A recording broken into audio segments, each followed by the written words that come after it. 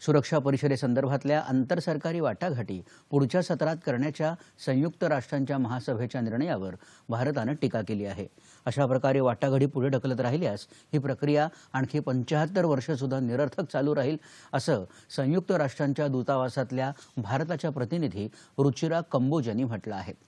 सुरक्षा परिषदेसंदर्भातल्या वाटाघाटी महासभेच्या अठ्ठ्याहत्तराव्या सत्रात कराव्यात असा मौखिक निर्णय काल सत्याहत्तराव्या सत्रात घेण्यात आला. त्यावर भारतानं प्रतिक्रिया व्यक्त केली. मात्र संयुक्त राष्ट्रांचा जबाबदार आणि सकारात्मक सदस्य म्हणून भारत या वाटाघाटींमध्ये सहभागी होईल. आणि त्याच त्या मौखिक चर्चेपलीकडे जाऊन वाटाघाटींना लिखित स्वरूपात आणण्याच्या भूमिकेबाबत आग्रही राहील असं कंबोज यांनी सांगितलं.